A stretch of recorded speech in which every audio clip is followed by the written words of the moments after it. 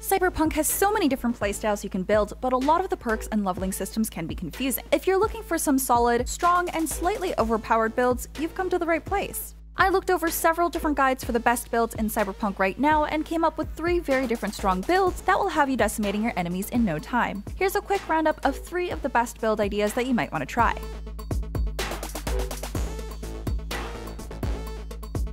As a precursor, with any of these builds, you should always equip double jump legs and arm cannon with tranq rounds. I'll also only be listing the essential perks for each build, so be sure to add in your own preferred perks to fill out your personal builds. With that in mind, here are a few builds to look at the standard build. This is also referred to as the solo base build that allows you to stat into multiple categories and evenly unlock perks for a fairly well-rounded build. Think of it like a jack of all trades. I liked using this for a run and gun playstyle. For your attributes, you'll want to focus mainly on body, technical ability, and intelligence. You can utilize technical for increasing defense and allowing crafting, body for infinite sprinting, and intelligence for most general quick hack abilities. For body, you'll also want to make sure you have the following perks in addition to whatever else you'd like to spec out. In athletics, make sure you have marathoner, so sprinting won't drain stamina, regeneration, so your health can slowly regenerate during combat, and true grit, which increases max stamina by 10%. In annihilation, make sure you select dead center, which increases the amount of damage you can deal to an enemy's torso. Really, any perks that increases weapon damage is worth investing in. For the reflexes attribute, make sure that under assault you have executioner, which helps you deal 25% more damage to an enemy that's higher than half health. Finally, for technical, make sure you go into engineering and have the perk can't touch this equipped since it grants you immunity to all effects from your own grenades.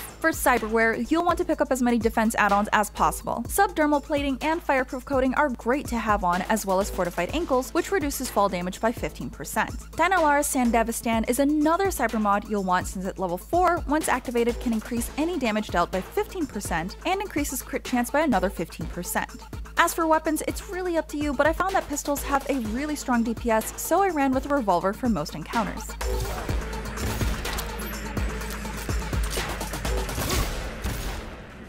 The Netrunner. This class is perfect for you if you've always wanted to be the master hacker. If you're statted correctly into intelligence and tech, you can take out enemies solely through hacking, which can kind of be funny.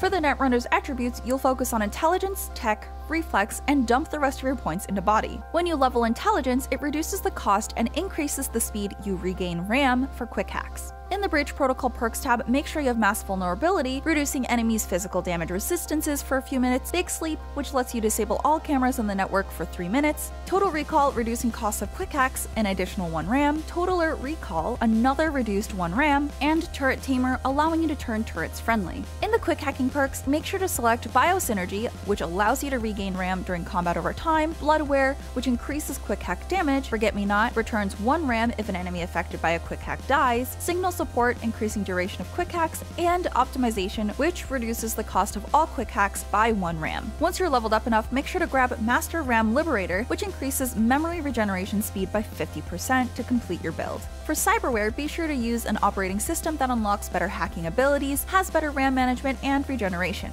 Really, just focus on anything that increases your base RAM. You won't be using weapons for this build since you can take out enemies without firing a single bullet, but if you really want to run with a weapon, a silenced pistol is the best option. With every encounter, you'll want to start with Breach Protocol, which can lower the RAM cost for quick hacks, making you an extra deadly silent hacker assassin. Blade based.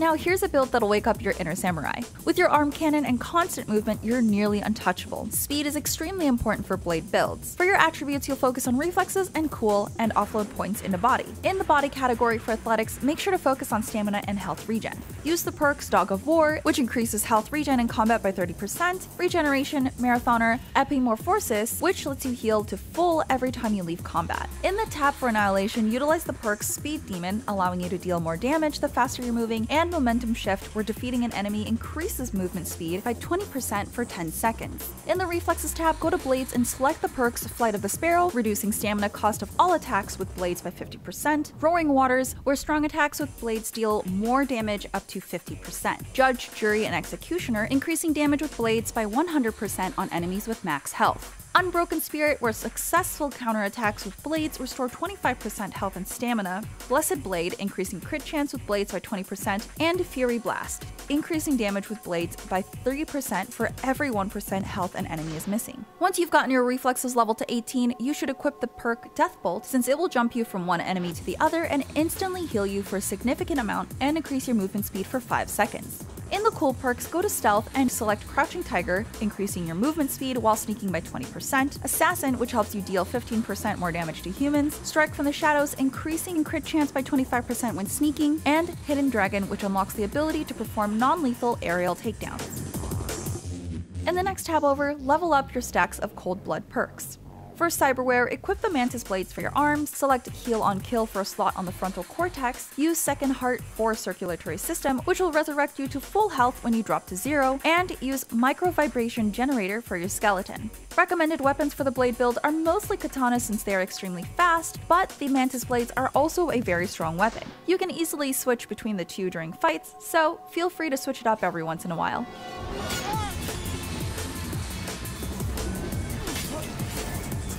Those are the three strongest builds for Cyberpunk right now, but I personally really love the Netrunner build. What's your favorite build right now? Will you try any of these three builds from the video? Let me know in the comments below, and for more on Cyberpunk, keep it here at IGN. Fuck off!